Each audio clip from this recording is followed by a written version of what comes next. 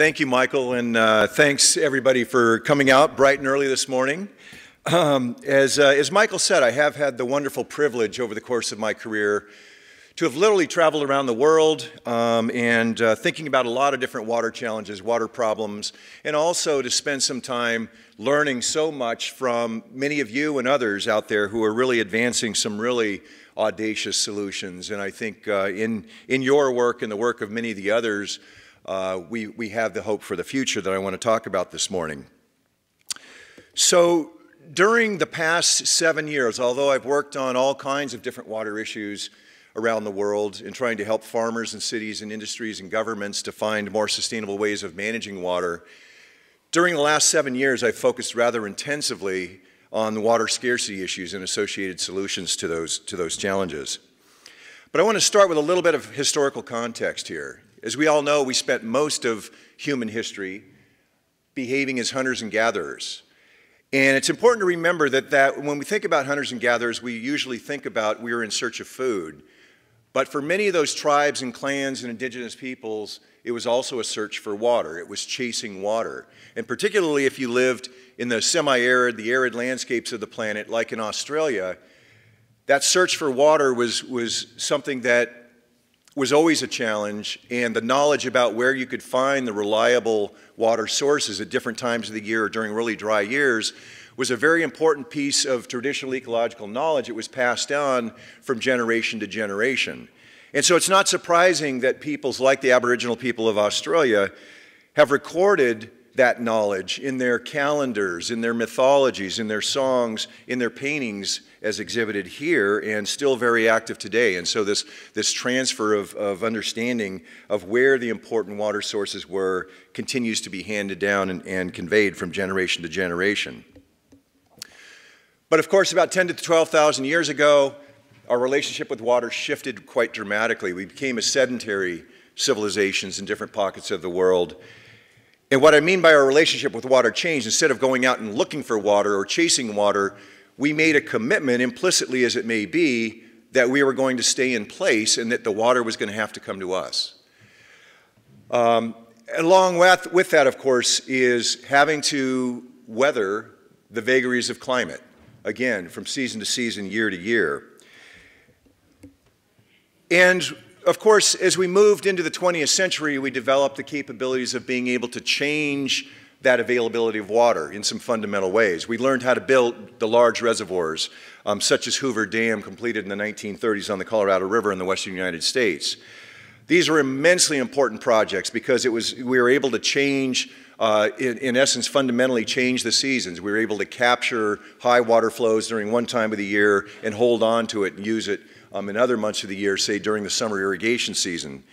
Some of these reservoir systems were so large that they were actually able to capture multiple years of the total runoff of these river systems and thereby giving, giving us a bit of a buffer to weather through a string of water short years.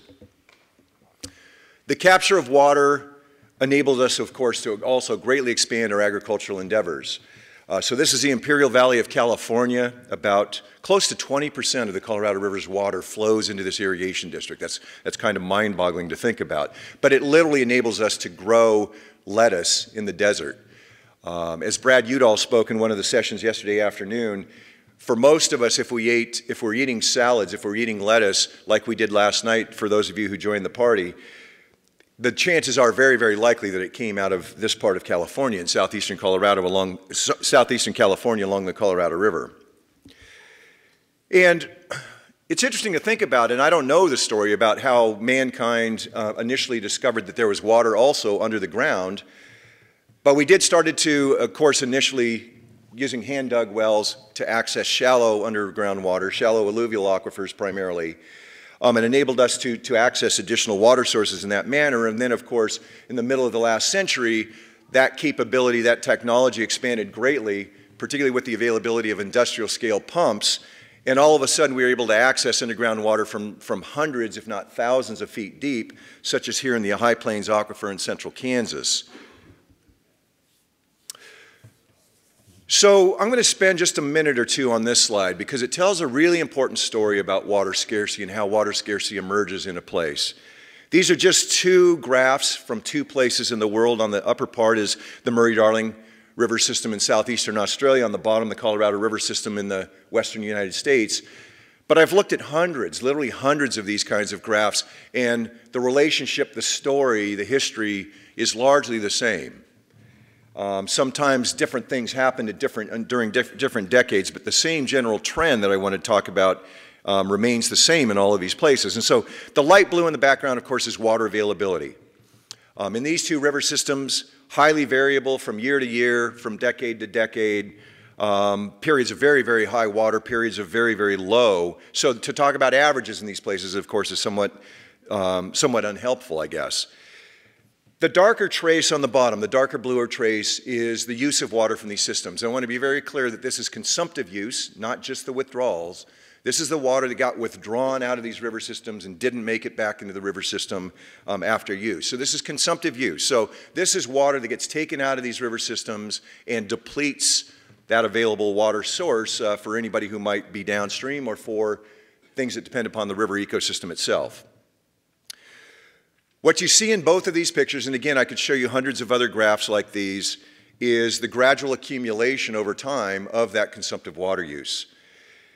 And in both of these systems and a lot of others, we know that um, beginning quite, quite, a, quite a long time ago, decades ago, that we started to see ecological problems emerge in these river systems. When you start taking 30%, 50% of the water out of river ecosystem, you can expect that there are going to be very marked and, uh, and in some cases quite severe ecological changes that, that take place.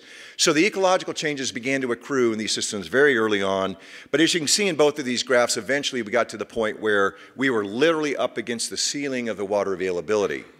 Now in the upper graph of the Murray-Darling Basin, uh, that really came to roost uh, in what was called the Millennium Drought, also called the Big Dry in Australia, uh, that came on in the late 1990s. It was, a, it was a drought of record. It was, nobody had ever seen anything like this before, and it lasted a long time 10 to 12 years in some parts of Australia. You can see that the, not, the water availability dropped. In fact, it dropped to less than 40% of the long term average in, in many of the parts of the river basin.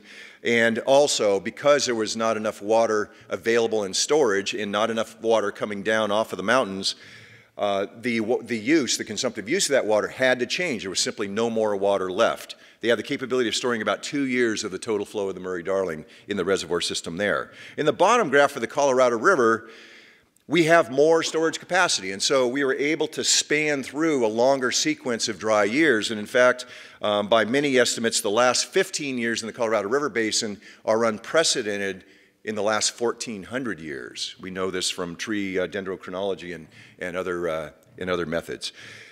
So when you have the capability of storing maybe five years of the annual runoff of the Colorado River, you can span a gap. But even, even that storage um, has been running out uh, very, very quickly in the Colorado River system. And so what we see in reservoirs like Lake Mead behind Hoover Dam or upstream in Lake Powell behind Glen Canyon Dam is a gradually decreasing water level.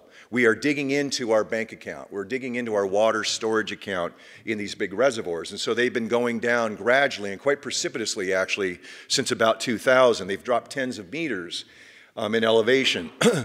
um, of, of, great calamity here, of course, is the fact that uh, because of the sharing of water among the seven states in the Colorado River Basin, is that as that water level drops in Lake Mead, there are consequences for each of the states. And there is a rank and priority according to who feels the pain first. Arizona takes the first hit.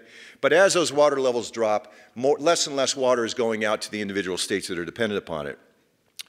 The other thing that gets quite worrisome here is that, of course, these are large electricity generators. These are large hydropower facilities.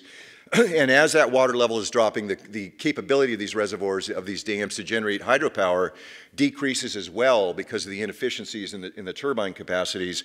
And eventually you can get to a point where you cannot generate hydroelectric power anymore at, at, uh, at Hoover Dam. Uh, because this is tied into the entire grid system throughout the southwestern United States, you can imagine um, some of the consequences there. So to say a little bit more, it's, um, so I showed you graphs that just suggest that it's accumulating consumptive use as compared to the relative water availability, and that is the definition of water scarcity. It's not just the lack of water availability, but the amount of use relative to that water availability. And so if we use this metric of depletion, depletion of the water basins, uh, this is a map that, uh, that we generated uh, a, a, few months ago, and it tells a very, very interesting picture. So what you're seeing in the warm zones, in the yellows, the oranges, and the reds, are places where more than 75% of the renewable replenished water supply, uh, more than 75% of it, of it is being consumptively used. So they're bumping up against the ceilings of the water availability in these basins. By the way, this is a computer model generated um, animation here.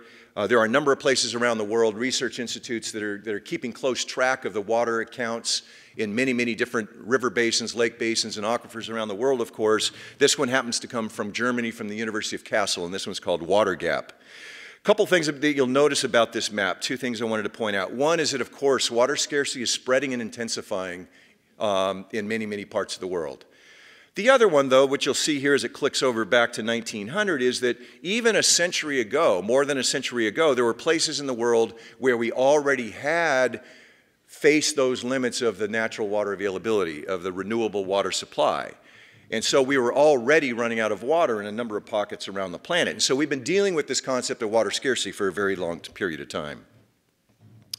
This map throws all the water uses together. Um, but what's important here is that this map doesn't look much different at all from the map that I showed you before. The map I showed you before was strictly irrigated agricultural consumptive use. Um, when you look across all the water scarce regions of the world and how water is being used in those regions, irrigated agriculture accounts for 90% of the total consumptive use. And so industries and domestic uses, manufacturing is a very, very small portion of the remaining use. So this map looks much like uh, the previous map does for that reason. when you do the accounting and, and uh, you see the different colors here, some of these places are running, are running up against the limits all of the time. In fact, some of them are over 100% use because they're mining their groundwater aquifers in addition to drying up their rivers. Um, but, but, and sometimes it's only a seasonal shortage, um, only during perhaps the summer irrigation season that they're really up against that, the, the limits of the available water. And sometimes it only comes during drier years or during drought. So that's what the color coding is here. We now know that water scarcity and associated water shortages are taking place in about a third of all the planet's watersheds, rivers, lakes, and underground aquifers. About half the world's population is already being affected by these water shortages. And most frightening, I think, is the fact that about three quarters of the world's irrigated acreage is dependent upon these places where, again, we're up against the limits of the renewable water supply.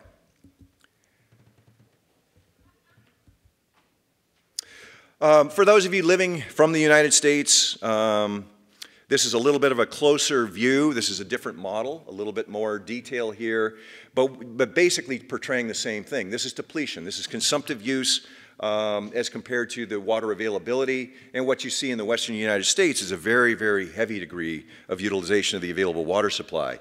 And in fact, this, this, statistic, when we put this together, was really caught me by surprise. So half of the rivers in the western United States have lost half of their water, and a quarter have lost more than three quarters of their water. So what that means is that fundamentally, these river systems that, are, that have experienced that degree of exhaustion of the renewable water supply, they're fundamentally different rivers. They're ghost images of the rivers that used to exist. Uh, there was a couple of great sessions yesterday afternoon with some of the scientists, some of the river scientists, some of the ecologists, talking about the nature of those changes that have taken place in, um, over time in these places. And the challenges of trying to think about concepts like ecosystem restoration, or are we really just going to try to make, make the best that we can out of the water that we still have left in these places. So because we had not seen anybody really putting um, the picture together in any kind of a quantitative or a statistical sense. Uh, in a report that we put out uh, last year called Watershare, um, published by the Nature Conservancy, we portrayed a lot of this information, a lot of these maps, but one of the things that we did was we wanted to see whether or not there was a, a quantitative connection between the degree to which the renewable water supplies were being depleted and the occurrence of bad things happening. So what I mean by bad things happening is I've had my students at the University of Virginia have been putting together a database, working on this for, for a few years now, documenting credible sources where water shortages occurred and documenting what happened. Manufacturing plants shutting down, uh, power generating plants um, losing capacity, not being able to produce at full capacity, or having to shut down altogether. Agricultural disruption, um, not able to bring in the crops, um, along with not only the agricultural production, but of course the revenue generation associated with that. Um, the ecological impacts um, associated with fish kills and, and other and other well-documented events. And so, not surprisingly, as these graphs suggest, there is a correlation. There is a statistical correlation between the degree to which you're depleting the, the, available water resources and your vulnerability to having a water shortage event. So no surprise, of course, that now the World Economic Forum has put this issue, water shortage crises, right at the top of their global risks to the global economy. And it's because these things are happening, again, in more and more places, and they're getting more and more painful, and um, I think this is something that's become a very, very serious issue and something that we're all, of course, trying to grapple with and trying to figure out how can we ameliorate this, how can we reduce this, how can we stop this from happening in so many places. So one of the approaches, of course, in the 20th century was to, once you've depleted your local water supply and once the reservoirs can no longer, you know, get you through uh, your water shortages uh, or to meet your increasing water demands, we have reached out into other basins. We have built long distance water transfer projects, such as this one, I think one of the most uh, illustrative of this idea, if, if you will, is um, in China. This is a South North Water Diversion Project, of course. This takes water out of the southern part of the country, specifically out of the Yangtze River Basin, and transports the water to the northern China Plain and the associated cities, Beijing and other cities that benefit from this up in the North China Plain. Uh, the North China Plain, of course, being the breadbasket, the primary agricultural production area of China. Um, I don't think that these projects are going to be very useful for too, for too much longer in the 21st century. Um, they're very, very expensive, not only from the construction cost, this one was about 80 billion plus at this point, um, but, but to move that water against gravity over long distances and water having the weight that it does and the volume of water being moved, it just it becomes very, very expensive water. Another problem with these water transfer schemes is that there's really not much surplus water left. You know, the maps that I just showed you suggest that we're running out of water in a lot of parts of the map, a third of the map. And so if you're in a water scarce basin, you're going to have to reach a long ways to get into places where there might be some extra water available to bring in, to import. And we're also seeing many communities resisting those kinds of proposals, saying, no, we're not going to let you take our water. We're going to need our, we're going to need that water for our water security in the future. I think the New York Times told the story about this particular project in a very um, telling way. They said, this project is like taking water out of the Missouri River to supply the water to Washington, D.C., New York, and Boston. So about a 1,000 kilometers of distance, and, and you get some sense of the volume of water from that. So I don't think that this is going to be a viable option, and certainly not to meet the irrigation needs um, of the 21st century. Uh, in a lot of places in the world, of course, we're tapping into this technology, desalination, removing salts from salty water, whether it's underground salty saline um, aquifers or whether it's coming directly out of the ocean. Um, again, the real constraint here, even though this is a rapidly expanding technology, it still remains a very, very small portion of the overall global water supply, something on the order of 2 to 3 percent. And it remains very, very expensive. From, so from the standpoint of the water needs of irrigated agriculture, it's very expensive water, and there are only a few places in the world um, outside of Bahrain and perhaps Saudi Arabia, where the, or, and, uh, and a couple of other places where this is going to be a feasible way to meet the irrigation needs of the future. We've done a lot of, uh, and we and a lot of you have done um, cost analyses, relative, you know, benefit cost um, assessments for related to water, the cost of water, the economics associated with water. This is just one city, um, a story that I'm going to tell you a little bit more about in just a moment. But San Diego has looked at a large variety of options, um, an array of different ways of supplying their growing water demands over time. And these per unit costs and the relative expense between the different options that are available here. Again, they repeat themselves in many, many of the places, cities and others that we've looked at around the world. So again, saltwater or desalination being out on the high end of the spectrum, even water reuse and re water recycling being quite expensive as well because of the water treatment costs, the electricity associated with that, um, and the expense that comes with the uh, provision of the electricity. Water importation, you see there. Uh, groundwater, local surface water, these are, these are sources that were very, very important and relatively cost effective early on in the development of the water supply systems of San Diego and many other cities around the world, but, uh, but much of that is no longer available to meet the growth of the future. And so what I'm going to do is I'm going to spend the rest of my time really talking about where I see the future, uh, where I see the 21st century, and where I think we have to double and triple down, all of us, in the next couple of decades, and talking about water conservation. I talked about a lot of these issues in a book that I published a couple years ago called Chasing Water. I talked about the governance structures that are going to be needed, um, such as putting caps, um, limits on the total uh, use, consumptive use of water from any water source. I talked about some of the economic drivers, some of the financial incentives that might be available to us, um, the different things that local communities are going to have to grapple with in planning for a water secure future. But for the rest of my, for the, the, the remaining few minutes here, I'm going to focus just on the actual activities that need to take place on the ground in our cities and out on our farms if we're going to come to grips with this problem of global water scarcity. So the first solution I'm going to talk about is this idea of creating water, and I don't mean desalinating water here. Um, instead, what I mean is that by saving water, for every gallon that we don't consume is water available for other users or to remain in the natural ecosystems in the hope of being able to restore some of the ecological vitality of some of those uh, freshwater ecosystems and the downstream estuary and near coastal zones as well. Um, so this idea of creating water is about just simply not using it in the first place. And as you saw from that previous slide, um, by far and away the most cost-effective means to try to balance a water budget that's getting out of, out of balance. So let me say a little bit about what's going on in cities already, and then I think we need to greatly, greatly expand our endeavor here. Um, this isn't a problem in all the cities of the world, of course. Uh, this is usually an issue for more of the industrialized um, countries of the world. But, but the fact that we use half of the water in cities in places like the western United States or in Australia, half of the water in many of these cities going to outdoor landscaping use um, around the home, big commercial parks, golf courses, and that sort of thing.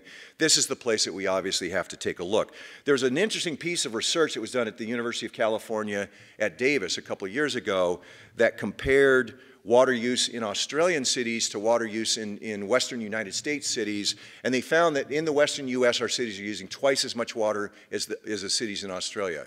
So right there tells us that there's tremendous potential um, to go a lot farther with our water conservation programs. Um, I think the water utilities within the western United States are going to have to take this very seriously, and the communities that depend upon the, that water supply and on those water utilities are really going to have to push for this. This is going to be a very, very important part. Even though cities are a small portion of the overall water scarcity problem, it's critically important that everybody is involved in this, and the cities really need to get serious and get their water use down to about uh, I'm sorry, I don't have the liter conversion right off the top of my head. I guess if I said 50 gallons, that would be about 200 liters um, per person per capita. Fortunately, there's some progressive cities in, in different parts of the world that are embracing this challenge, that have, that have really come to grips with this, and they're saying we need to put a lid on our growing water demands. In other words, our water demands cannot grow any further, and in fact, they actually need to come down.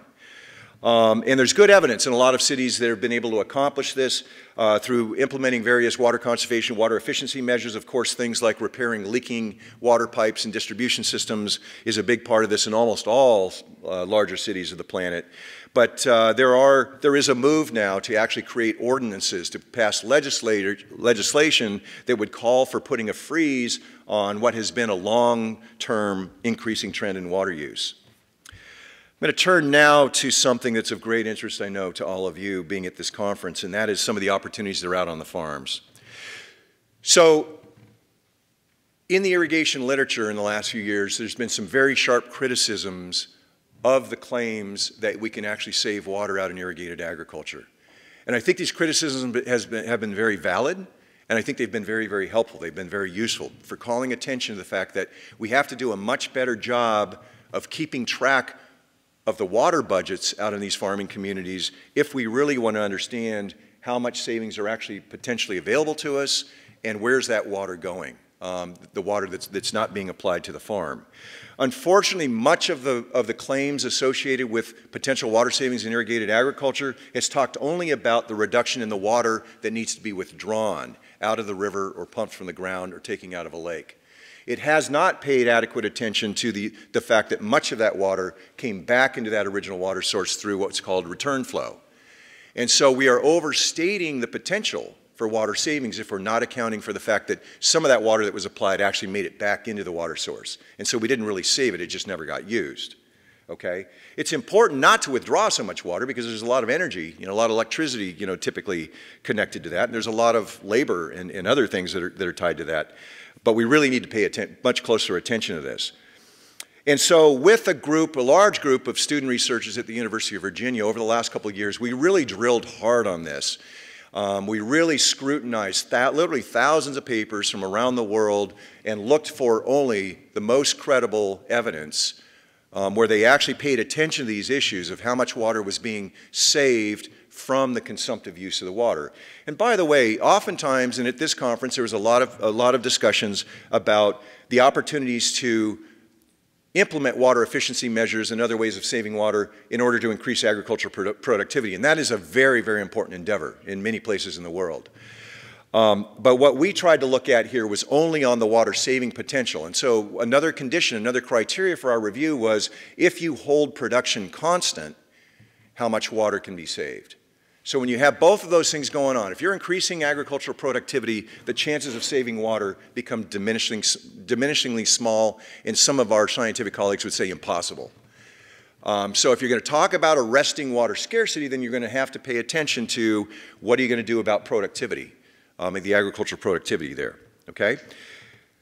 Even with that said, here's some pretty impressive results. Even when we put that very, very fine screen filter and scrutiny on these studies, um, the potential for saving water because of the way that we're applying it, um, many people have been working on this. There's many companies and manufacturers that have been promoting this. It turns out that in carefully controlled field studies um, that there is a lot of potential. A third to a half um, of the water, of the consumptive use can be reduced through water applications.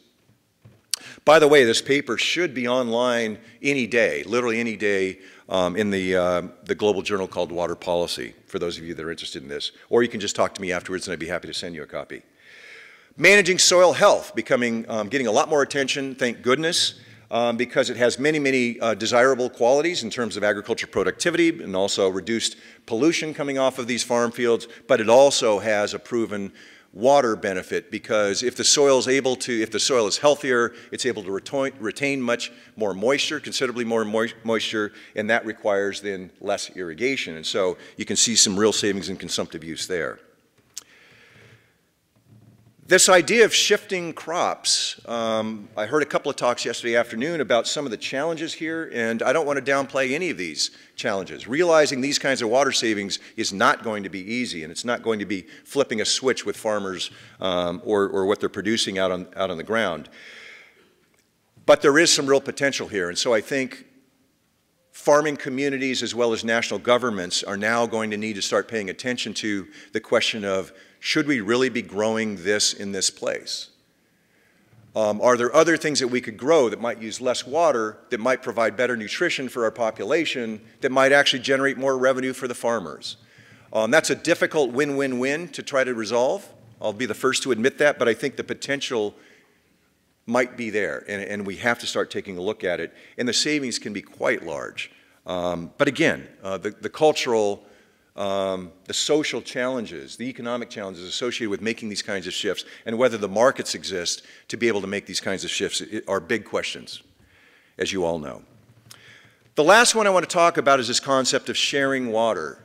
And the point I want to emphasize here is that we can't resolve these issues by, by remaining insularly focused only on one user sector, by focusing only on irrigated agriculture, by focusing only on the opportunities to, gen to generate or to use less water in power generation, the ability to use less water inside the city. We need to find ways to build dialogues and have conversations around the shared water source, around the river basin that we share, around the lake basin, the groundwater aquifers that we share, and we need to look at ways that we might be able to um, distribute to the, the, rights to use that water, the availability of that water among all, everybody who's, who's trying to use it um, and trying to put it, uh, put it into, into productive use or to meet their basic uh, human livelihood needs.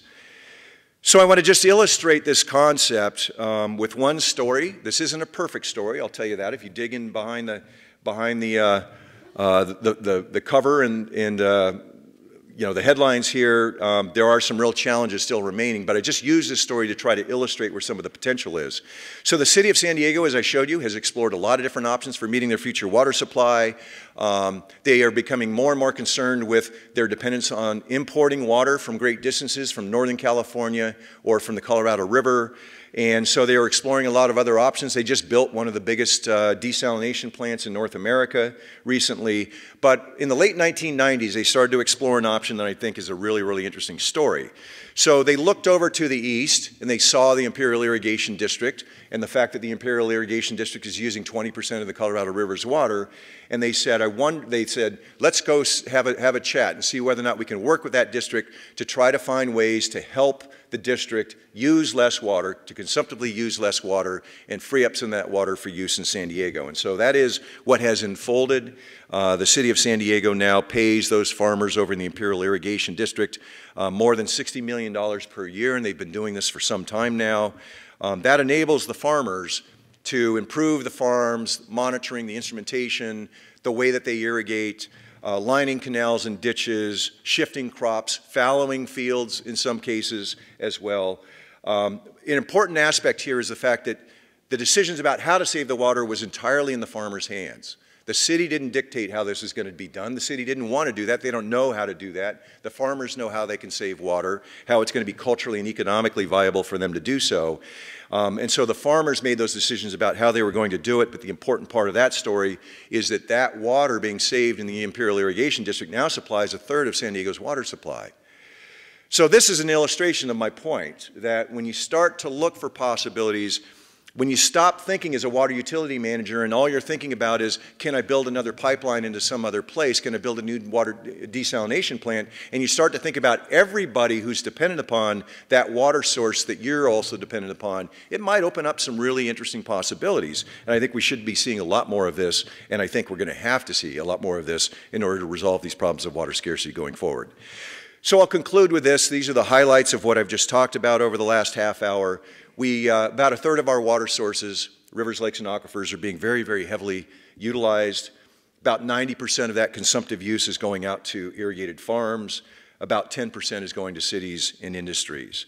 Uh, the result for the natural ecosystems for those water bodies themselves is uh, very, very heavy depletion uh, to the point of drying up um, in some cases or rapidly declining groundwater levels in many other places. So as we look out over the next couple decades, I really think that we all have to intensively focus, and I think governments are going to have to really push hard on this and get really serious about this, and we have to do this now um, to really begin to arrest uh, the, the, the, spreading and, and intensification of water scarcity around the planet.